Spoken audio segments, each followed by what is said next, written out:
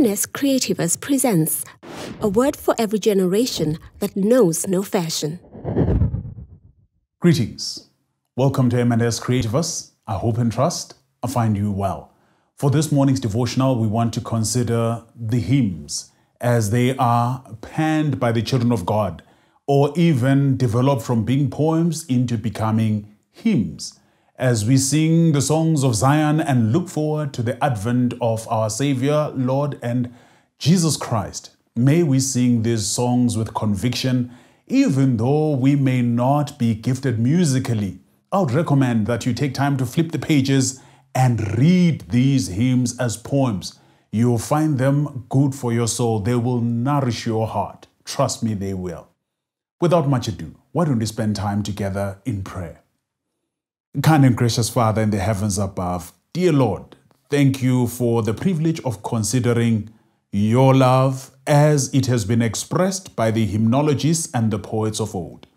May you speak to our hearts this morning.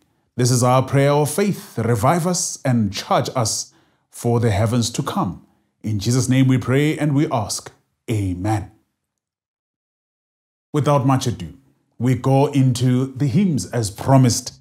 There are some songs that I think if I had an opportunity, I would have placed them in some hymn book, but I am yet to find them in there. There is one that was done by the Vocal Union a couple of years ago, but it was still in our time.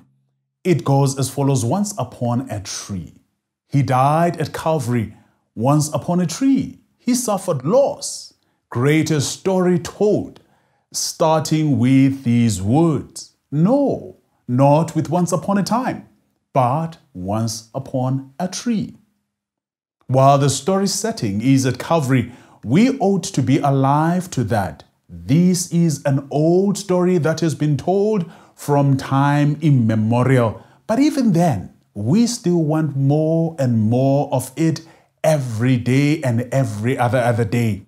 I borrow from the words of Catherine Hankey as she writes the song, Tell me, the old, old story of unseen things above, of Jesus and His glory, of Jesus and His love.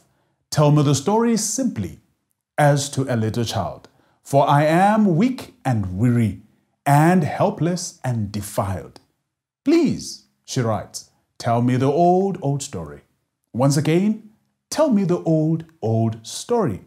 I beg you, tell me the old, old story of Jesus and his love. While we are listening to this plea, Catherine changes lanes and moves over to the other side and responds to the same hymn with yet another hymn, as if to say, You did not ask, you need not plea or beg of me to tell you this story, for I love to tell this story of unseen things above, of Jesus and his glory, of Jesus and his love. I love to tell this story because I know tis true. It satisfies my longing as nothing else can do. So believe me when I say I love to tell the story. It will be my theme in glory to tell the old, old story of Jesus and his love. This is a story that has been told by people who have been fit as a fiddle. It has been told by those who are ailing and on their deathbeds. And Eugene Bartlett goes on to tell the story having had it once. She was, he was now on the verge of death, having succumbed to a stroke that was debilitating as his health failed him by the day. These were his parting words. I heard an old, old story how a Savior came from glory, how he gave his life on Calvary to save a wretch like me. I heard about his groaning of his precious blood's atoning. Then I repented of my sins and won that victory. As Bartlett was writing the song, the recorder says his health was so bad he could barely write anymore. He could not shape his words very well, cross the T's and dot the I's, but he writes his refrain or chorus with that triumphant tone. And this is what he says as he gets to that victory. He claims it and holds it as if by his two hands. Oh, victory in Jesus, my Savior forever. He sought me and bought me with his redeeming blood, not with money, but with his redeeming blood. He loved me ere I knew him, and all my love is due him. He plunged me to victory beneath the cleansing blood. We have been loved and purchased with the blood of the cross. This is a story worth hearing over and over again. Fanny Crosby, one other hymnologist, was blind from birth, and as she heard the story of Jesus, she could not be left out. She added another layer to the story of Jesus and says, You know, you need not just tell me the story of Jesus, but write on my heart every precious word. Tell me the story most precious. It is the sweetest that was ever heard. This is the precious story of Jesus Christ as recorded. It is this precious story and sweetest story of Jesus Christ as sung through the ages. And once this story is written in the heart, it can only be lived. According to the words of Mrs. E. Prentiss, and she captures these very well. This is what she has to say More love to thee, O Christ, more love to thee. Hear thou the prayer I make on bended knee. This is my earnest plea. More love, O Christ, to thee, more love to thee, more love to thee. Where you think you have had it all and you know it all, the story of Jesus becomes new all over again. We will never exhaust it, just as Eliza Hewitt confessed once upon a time, and she writes, More about Jesus I would know, more of his grace to others show, more of his saving fullness see, more of his love who died for me. There is always more of this love.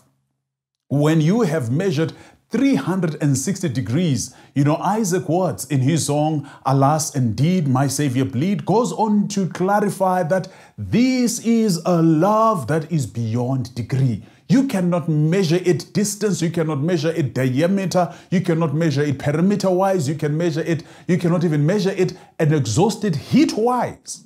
You know, when the love of many shall grow cold and the furnaces of Babylon are multiplied seven times, the love of Christ shall never lose its power. It shall never lose its efficacy, for it is the love that sees us into this earth in the birthing words. It is the love that resides with us in the homes. It is the love that we find as we fellowship in the church. It is the love that we meet as we play and work. It is the love that pursues us even into those hospital beds, on our sick beds. It never leaves us. It is the love that follows us even into the prisons when we are incarcerated. And it is the love that touches us even when the cold finger of death has touched us. Love does not forsake us, it follows us surely as goodness and mercy do follow us every day.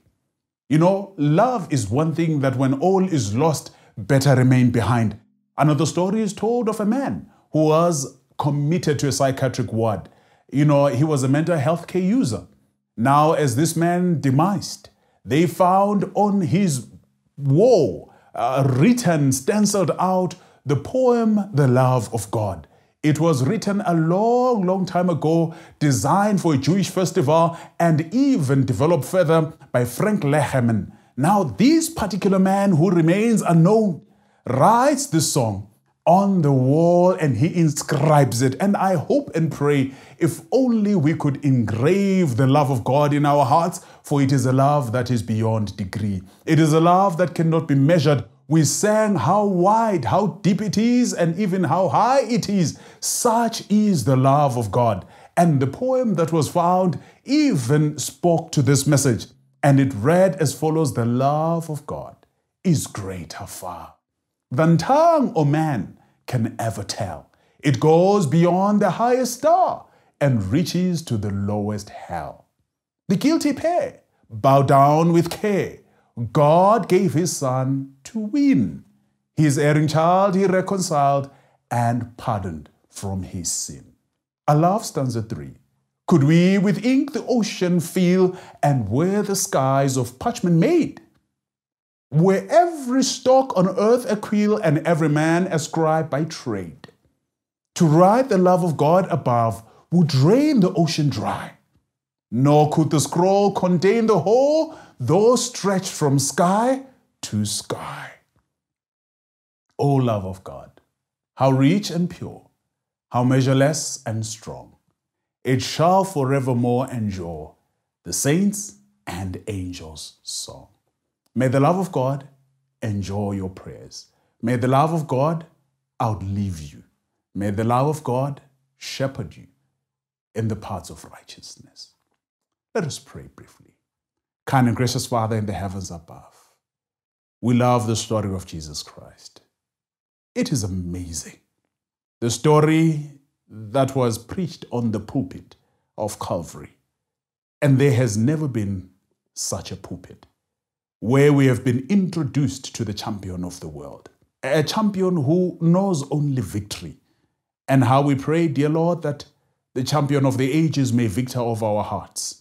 May he speak to us through this love story. Impress upon us that we need to know about Jesus more and more, and to others show how he has been merciful and gracious unto us. This marvelous grace we enjoy day by day. And dear Lord, may you write not only the Ten Commandments in our hearts, but may you write your love in our hearts. This has been our prayer of faith. Until we meet again, bless us with your peace. Amen.